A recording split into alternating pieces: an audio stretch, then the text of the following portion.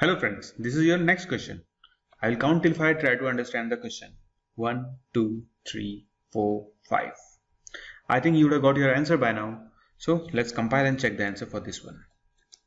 GCC 7.c. Okay, so there is a compile time error. So the answer is B1 here. Okay, so we'll try to understand why this compile time error is there.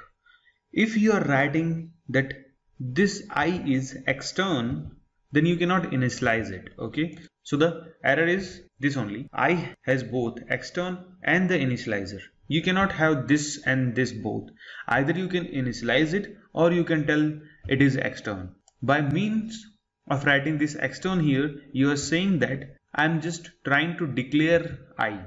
And by this 10 initialization means you are telling that i will be defining this i so at one time you are telling I'll be declaring only and one time you are telling I'll be defining also. So that is the confusion. So if you will remove this extern from this place and we'll compile this again, it will compile successfully and it will run and it will give you the correct output. But the original answer for this is compile time error. Okay. So let's keep this extern here and let's look at the next question.